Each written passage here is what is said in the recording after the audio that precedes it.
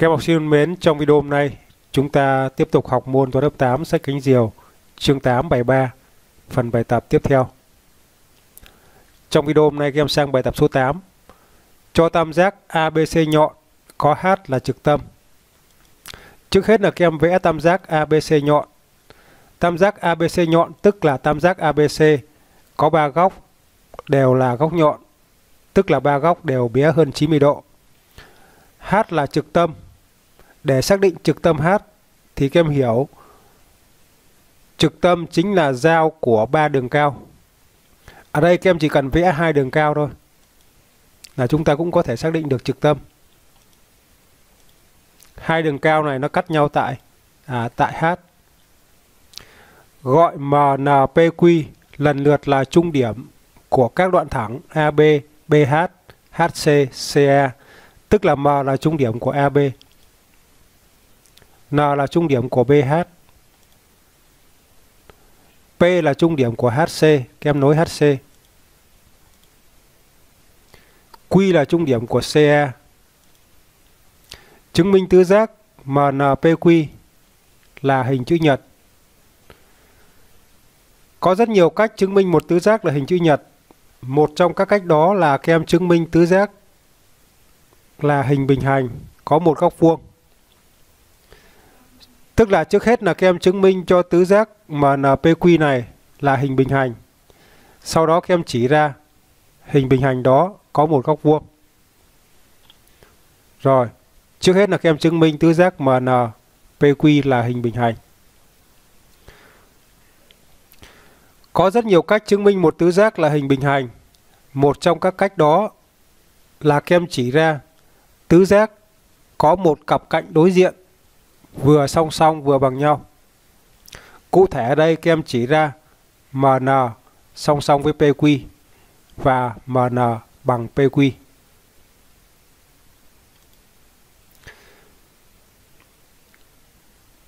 Vì M là trung điểm của AB, N là trung điểm của BH theo giả thiết.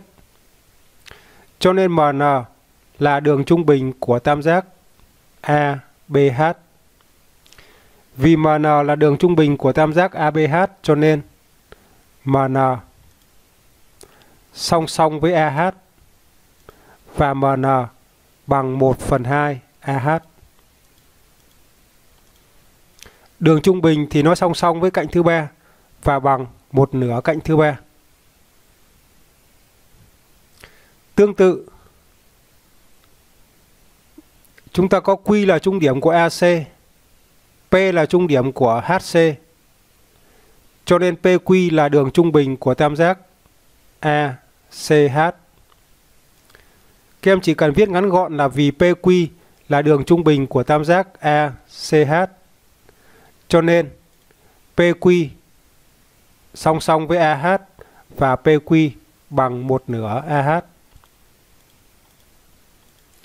Để thuận tiện ta gọi đây là một, đây là hai. Từ 1 và 2 ta suy ra MN song song với PQ vì cùng song song với AH. MN song song với PQ và MN bằng PQ vì cùng bằng một nửa AH. Như vậy MN vừa song song với PQ và MN bằng PQ. MN và PQ là hai cạnh đối diện của một tứ giác Hai cạnh đối diện này vừa song song vừa bằng nhau. Do đó tứ giác MNPQ là hình bình hành. Để thuận tiện ta gọi đây là 3. Bây giờ các em chỉ cần chỉ ra cái tứ giác này, cái tứ giác màu vàng này, nó có một góc vuông. Thì tứ giác đó chính là hình chữ nhật. Hình bình hành mà có một góc vuông thì nó là hình chữ nhật.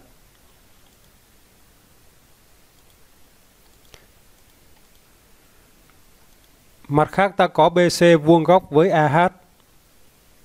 BC vuông góc với AH. Bởi vì sao? Bởi vì AH là đường cao của tam giác ABC.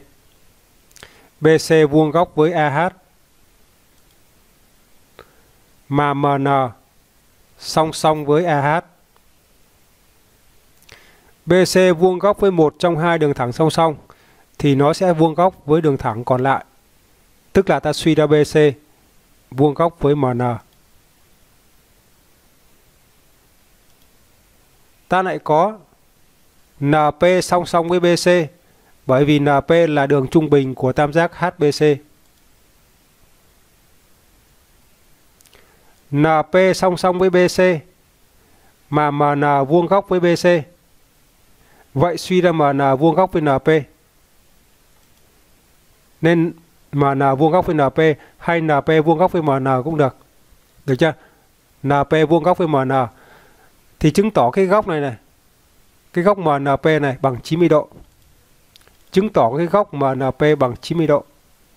Tức là cái hình bình hành màu vàng này nó có một góc vuông.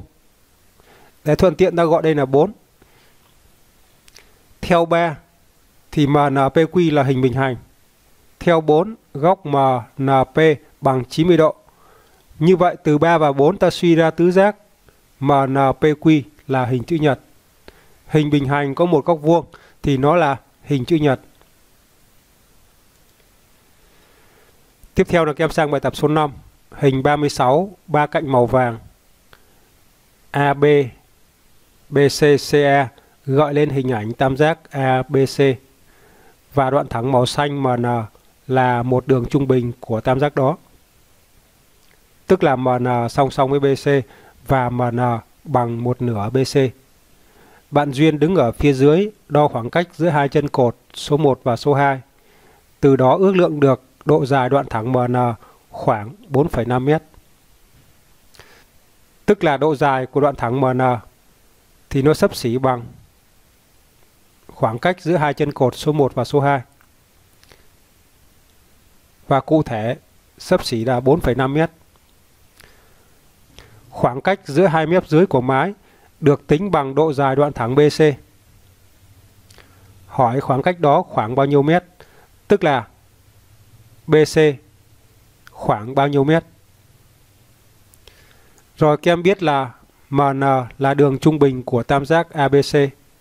Cho nên MN song song với BC và MN bằng một nửa BC. Từ đó ta suy ra BC gấp 2 lần MN, tức là BC bằng 2 nhân 4,5 và bằng 9 mét. Như vậy khoảng cách đó khoảng 9 mét. Vì MN là đường trung bình của tam giác ABC, cho nên MN bằng một nửa BC.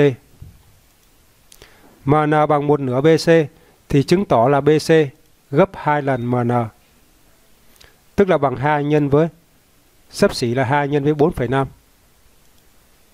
2 x 4,5 và sấp xỉ là 9 mét. Vậy khoảng cách đó khoảng 9 mét. Rồi như vậy là bài học hôm nay đây là kết thúc. Xin chào và hẹn gặp lại các em trong các video kế tiếp. Chúc các em học tốt.